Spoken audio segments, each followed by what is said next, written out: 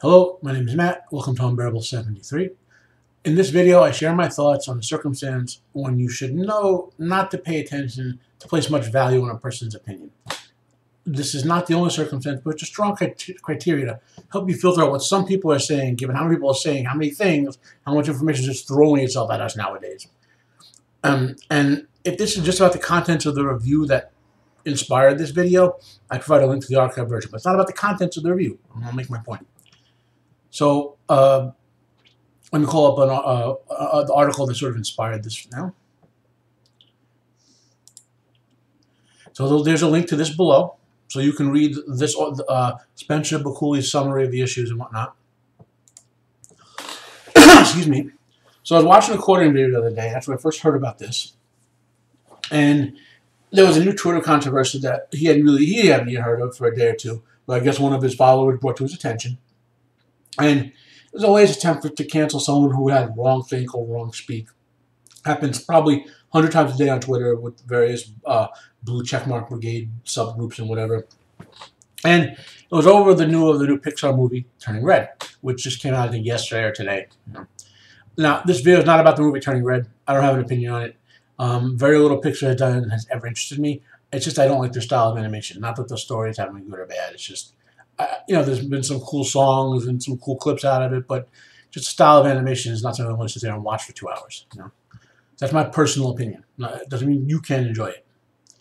So, in, in the Cinnamon article that I just brought up, uh, they're, just and the issue being mentioned, there was a uh, not the excuse me in the Bounding into Comics article and the quartering video, they're talking about uh, another site called Cineblend, which among other things does movie reviews. And uh, Sean O'Connell, he's the managing editor there, I believe, and he posted a review of the movie. That's standard. Uh, people post reviews and whatnot. And the Blue Checkmark Brigade began a firestorm of CRT-based criticism of, of, this writer and the review of the writer, ignoring the content of the review, which from uh, uh reading through it was well written. Uh, because the writer shared his personal opinion that the film was not meant for him, i.e., he was not the target audience for the film. So, to give a summary, to give a summary of events, Sean O'Connell was then accused of being an istinophobe. Uh, CinemaBlend bended the knee. They took the review down. They stated that they had, that, that they had failed to properly edit this review and that should never have gone up. Um, so let's look what they actually said there. And I believe that will show up here. Uh, do I have it? Uh, oh, that's in the article. Uh, I'll scroll down the article so you can see it. So Cineblend. Cineblend, Cineblend. I should have brought this this uh, tweet up for you guys. Yeah.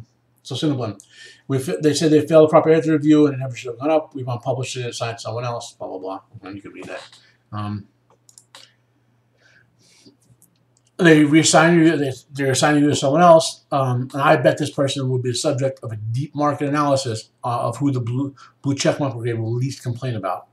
I bet this will also be utterly bland and complete and a complete ass kicking ass kissing of this of the film, regardless of the qual of the quality of the film. And next day they had new edit, uh, levels of editorial oversight. That was enough for the Blue Checkmark Brigade. Uh, calls him out for Sean O'Connell be fired because he's an istinophobe. Uh, that, that's what these two tweets are examples of. Here's two members of the Checkmark Brigade just making comments attacking his person and not the content of what he said. Know. I have no problem if they were going after the content of the review and being critical there, or disagreeing with his opinion that it wasn't meant for him.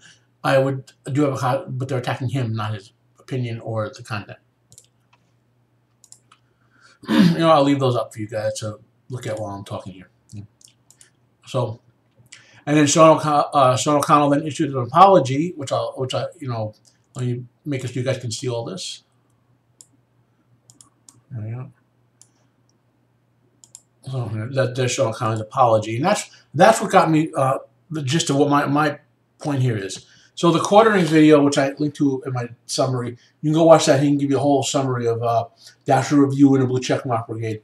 I'm going. What I am talking about is his response and what that tells us, and what we should learn from his response, and and responses like this in general. Okay.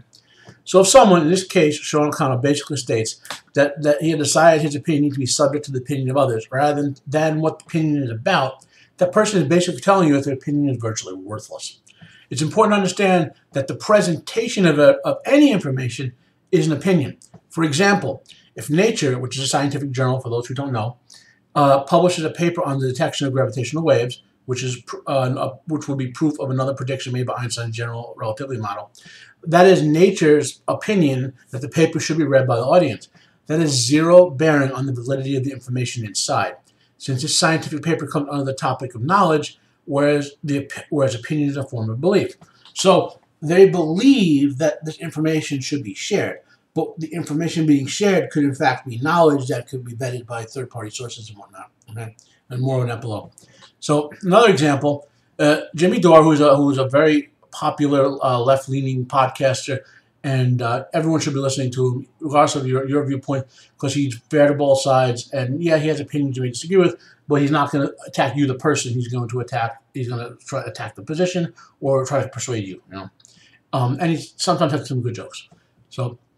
If you released a video where he advocates for change in the healthcare system, that's his opinion that it should be changed, and that his that the content of that video should be shared. Okay, that has no bearing on the information itself, in the sense of the content of it. Uh,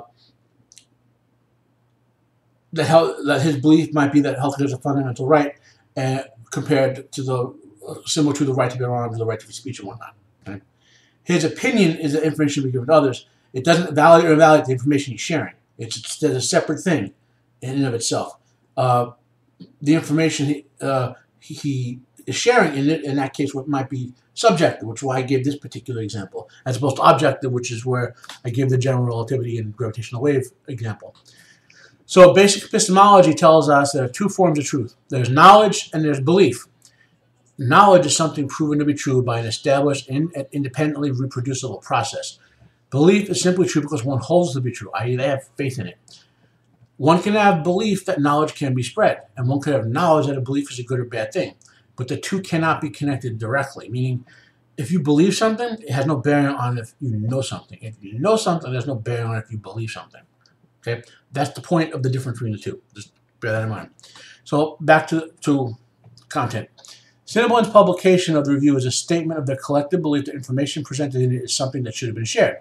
So Cineblend said this is an article written by one of our people, and we want to share this. We we believe we hold the point true, where any sort of empirical proof. We believe that this this the this information is something we should get out to the, our audience. We should publish it. Okay? Cineblend's withdrawal from publication is a, is a statement that collective belief that the information should be hidden away. So by withdrawing from publication, they're saying that our belief, previous belief was wrong, and now we believe this information should not be shared. It should be uh, hidden away. But that's, again, has no bearing on the content of the information. It's their, their group belief, so to speak, that it should be shared or not shared. Now, Sean O'Connell, his initial creation of the view is his belief that his thoughts on the movie are worthwhile in terms of being gathered together, being organized, being shared, maybe evaluates others in their evaluation of the topic of the review.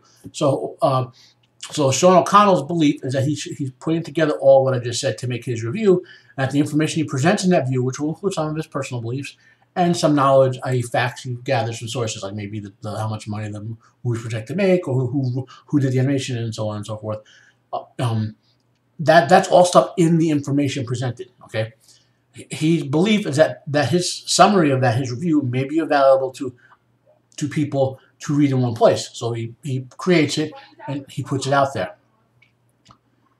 Sean O'Connell's apology, as we're getting to critical point, is a statement of belief that his original opinion was flawed not based on any objective analysis of it, but I say, for example, if someone shouts a fire in a crowded theater, and it's not a fire, that may be an opinion, and we can objectively say, well, that was a bad idea, the courts have come down pretty clearly on that. You can't shout fire in a crowded theater unless there's a fire.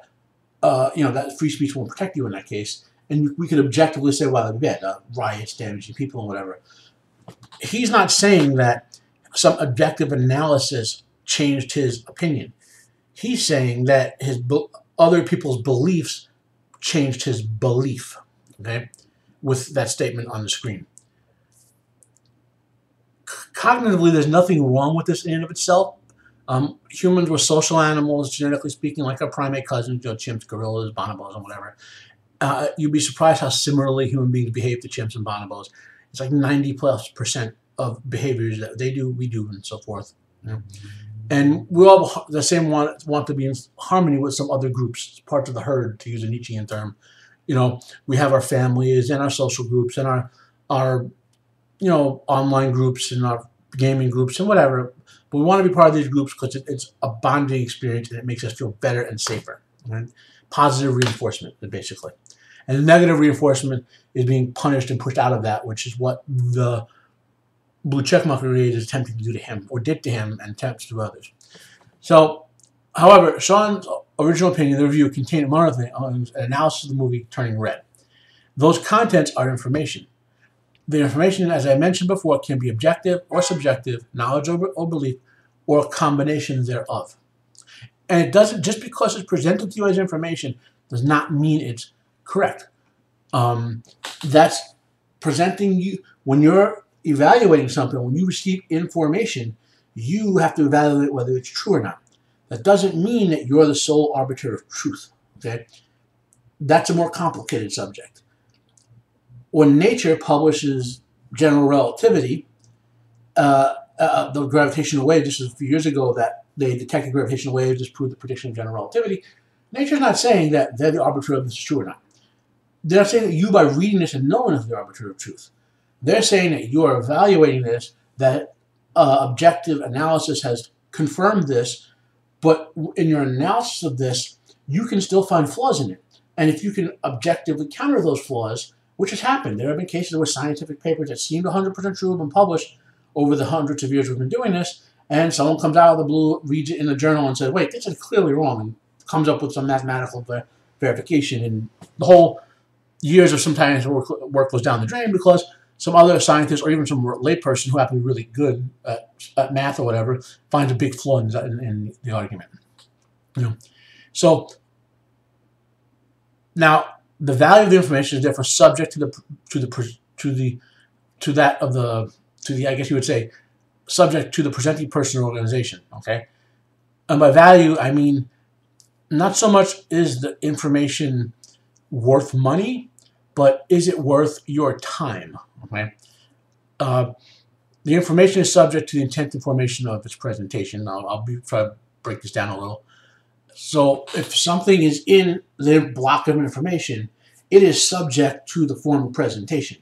It's off, and if you want a way to think of this visibly, um, watching the movie Star Wars is much more immersive and satisfying than having your friend tell you a 10 minute summary of Star Wars. You know, or any other movie you like, or book you read, or whatever. You know. So the value of that information, as I just said, is there is therefore subject to the presenting person or, or organization. And as I said, I want to get in on this point.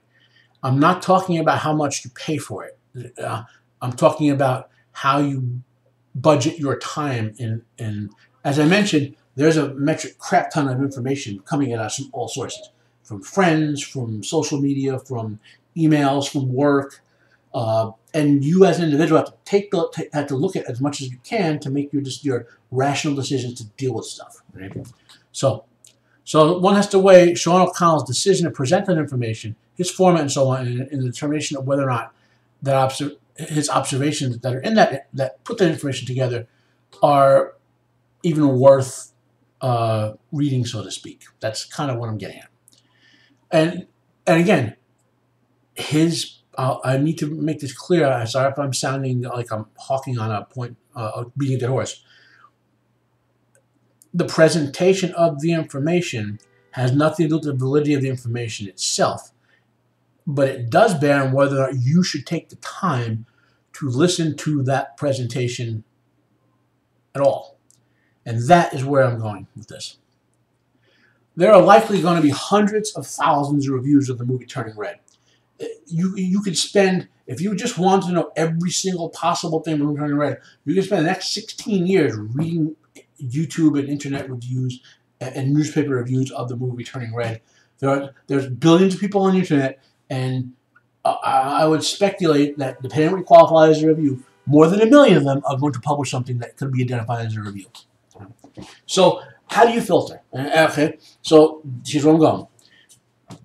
Why should you or I place any time on Sean's review if he himself lowers the value of the information, not based on responses to the information, but rather responses of who presented it. If he if he if he's saying my information is my my review is in and of itself not containing something you should read because of me, rather than because of something in it, he's saying literally, don't read my review. So Sean, by issuing this apology, again, not for what's in it, is basically saying, uh, don't read my review. He's willing to alter the content, which include deleting it, based on the external pressures of on his identity and his freedom of expression, not based on what he actually said. Um, I mean, he's telling us his opinion is worthless. And this is what it comes down to, the topic of the video. Thanks, Sean, for letting us know this is the case. We now know to avoid your reviews because you think your, your opinion is worthless. If you think your opinion is worthless, why should I take the time to, to ever read or watch it again? You know, I, uh, we don't have an infinite amount of time to, to spend deciding to, to analyze if we want to watch this movie uh, or not, or any movie. Why should we now know to know that Sean O'Connell is someone we should never ever uh, read or read a review about a movie again because he says his information presented is worthless, whether it's true or not. The information he says it's worthless. So this video, in my is my opinion, that my viewpoint on this issue is something that should be shared and may help others determine whether or not any to read read any more Sean O'Connell's reviews and how in some, some circumstances to evaluate other presenters' information. Again, my opinion. Okay, and I'm not telling you my opinion. My my my video is a opinion. I'm, I'm sharing it. I'm, i believe it's help, will be helpful to you. And the content of it is part opinion and part fact. I present some facts about the nature of knowledge and truth from epistemology and some facts about what happened. And I formulated my opinion and thoughts on that and presented it to you. And I, and I, I place value. I think you listening to what I said could it could be of value to you. Okay, I, I wouldn't even post this if I didn't think it would be of value to you in some capacity. Okay? Never tolerate others people or organization filtering information from you. Instead, learn to budget your evaluation time more logically and let everyone have their say. We're not alone in the world. We're not infallible. If we make a mistake, there are enough billions out there to catch it before it gets too big. I'm Matt. This has been Unbearable 73. Like if you hit, if you like it, dislike if you if you dislike it. Subscribe if you want to hear more from me. Have a nice day, and I am out of here.